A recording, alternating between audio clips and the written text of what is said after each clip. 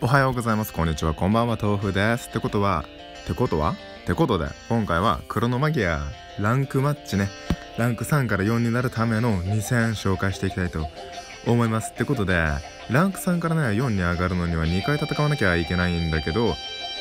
まあその2回をねちょっと動画撮ってたんだけどあのなんでかわかんないんだけどランク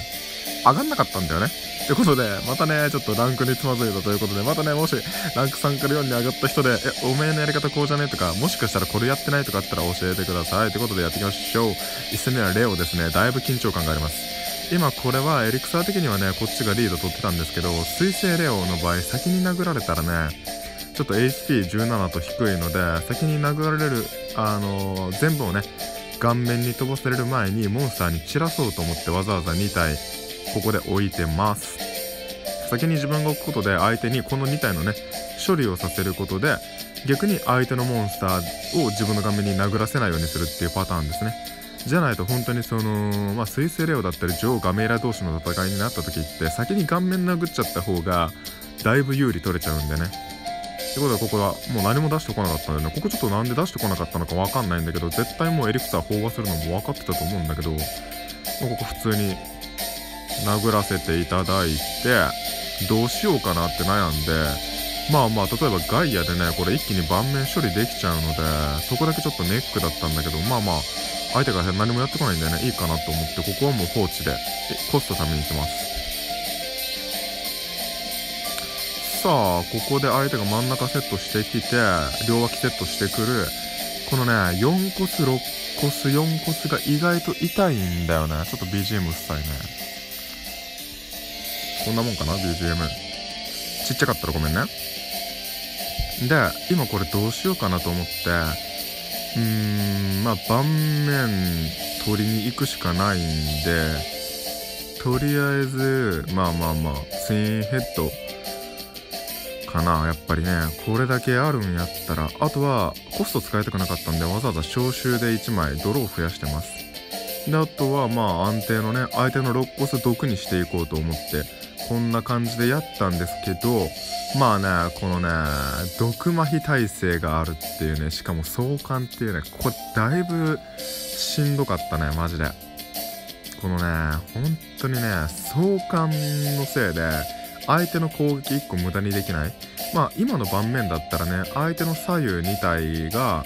まあ言ってもいなくてもどうせダメージ通らない敵なのでまあまあクリちゃんなのでねまあまあいいかなと思ったら黄金のリンゴで召喚されてギルマンに取られると。で覚醒やられると。これも厄介だったね。これあえて先覚醒やってからだったらだいぶダメージ通ったんだけどギルマンが殴れたからね、まあ、それをやってこなかったのはありがたかったかなと。ランクマッチでのプレミは結構ありがたいですね。さあギルマンが厄介で一番左のヒポなんちゃらかな。カバみたいな名前のやつに進化重ねてきてでパラディウムの過去で、えー、挑発と HP プラス1やられてます。でここで1ダメージ与えられるんだけど毒にできないんだよね。まあどっちにしてもそのガイアで打ち破れるのでまあそんな気にしなくていいかなと。こういう時に絶対ガイアが強いのでガイアは本当に手札にあるに限りますね。でこれ盤面取ってあとはもうこのこのね4コスでえー、女王の雄たけび使って9点。出せるのが本当に強い。実際は9点じゃないんだけど相手のね防御力にも左右されるから9点ではないんだけどまあまあまあそれでもね相手の防御力が0だったら4コストで9点まあ次のターン含めて6コストで9点殴られるっていうのはものすごく強いかなと個人的には思います。やっぱ女王の焚き火はね攻撃プラスに HP プラス1ってとこが強すぎるかな。さあここでどうするかって言ったら相手の HP が9だけどねま手札にオリオンがあるんだよね。でオリオンがあるってことはオリオンフレアができるんだよね。だから焦って盤面あ焦ってね相手の顔面殴りに行く必要がないんですよ。このオリオンフレアがめちゃくちゃ強い。シリウスフレアとかね。で15コス13コス14コスか。14コス13コスでフレアを1ターンで発動できる。やっぱこのデッキその街から強い人になればね強い人になるほど街から入る傾向があるのでその街から入ってる時に一気に押し切る感じで例えばここも8コスあと2ターン我慢すればいいのでしかも HP15 ってことでねよっぽど相手がご利用してこない限りここはもう有利取れる、まあ、このターンで終わらせられるのでもう流します。ターン相手に渡します。やっぱりね街から入った方がどうしても強いんだよね。でも相手これ俺に渡しちゃってもうこれでねほぼ勝ち確相手がここで挑発持ち並べてこない限りはもうほぼ勝ち確ここで捨てるのはまあまあねその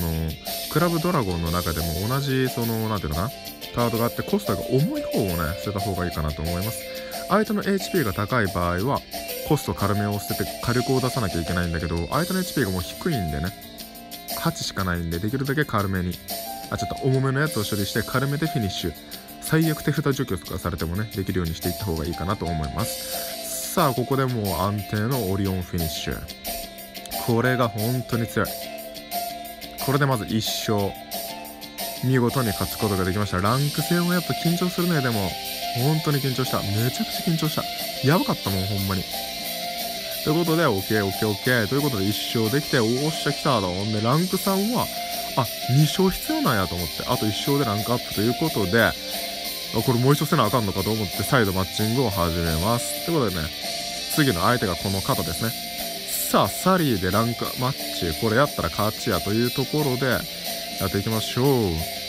ただこれが終わった後にあの今ねレオ終わった時にあと1勝って出たと思うんやけど全く同じのが出たんだよね。あれ？俺これが2勝目やんと思ったんやけどもしランク上がった人がいたら教えてくれると嬉しいです。えっと、考えられるものとしてはこのレオとサリーの間にランク戦でも何でもない試合で僕が負けてるんですよね。っていうか何ていうのかな。ランク戦ってその敵とマッチングしないのでランク上がらない敵と戦ってもしゃあないかなと思ってランクが上がらない敵要するにランク2以下の人と当たった場合は降参してるんですよね。まあ相手にもデメリットないやろと思って、まあそういうのが嫌な人もいるかもしれないんですけど、まあここに関しては一個一個やってったらランク上げるのすごく時間かかっちゃうので、でそういう降参による負けのせいで、まあついてるのかなとまあもう一回リセットされたのかなと思うんですけどちょっとどうなんでしょうね。分かる人いたらぜひぜひご教授いただけると幸いです。ということでここやっていきましょう。さこれもね、まあ、運よく両方先行取れたんでね先行はほんまにでかいですね。このゲーム後から入るから高校が有利とか思われるんやけど結局先行の方が MP もたまるしドローもできるし相手が出してから動けるんで意外と先行の方がね有利だったり。てか僕は先行の方が圧倒的に勝率は高いですね。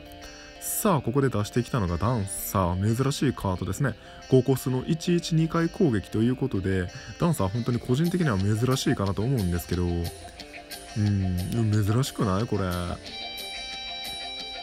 まあ、相手の能力的にダンサー強化するのかなと思ってたらここでコルキスの金曜もということで攻撃力3さらにそこからハルパーということで攻撃力5打点が6も通ってしまうという。ただこのね打点6ありがたかったのがおかげでねまだエリクサーマックスから始めれるんですよね。これが本当にありがたい。ちょっと6は痛いんだけどあともう一個ちょっとめんどくさかったのが毒とポイズンでワンパンで落とせないっていうのがねちょっとめんどくさかったかな。ただそれに関してもまあまあ問題なくね戦えるかなと思うのでここに関してはもう落としに行きます。顔面取ります。やっぱねあのサリーとかはもともとの HP がねあの HP が2守備力が2じゃない能力者はもともとの HP が高いのでちょっとあの手間かなと思ってもう削りに行きました。でも呪文ね2枚手札にあったんでここはもう呪文で相手の盤面取って自分でね取り行く感じかな、まあ、そうやってやっていくのがね結構いいかなと思うのででここに関してはもうねカード重ねてカード重ねて進化でねこの左の2枚だけでまた女王の雄たけびが出せるのでもうシリウス圏内にまで持っていけるかなということでもうやってます。もしかしたらね速攻来るかもしれないんだけど、まあ、できるだけシリウスフレアがある時点でえー、13コスで8点出せるので13コスの8点でかいかなと思います。でここパラライズがほんまに厄介マジで。これは予想してなかったね。このターンにまあスペル使って取られるかもしれないと思ってたけどパラライズやられるとは思わんかったね。ただここ運が良かったのがこのね左のドラゴンセプターかな？をその進化召喚してたので女王の雄たけびで7点。ということでねあのワンパンで落とせると。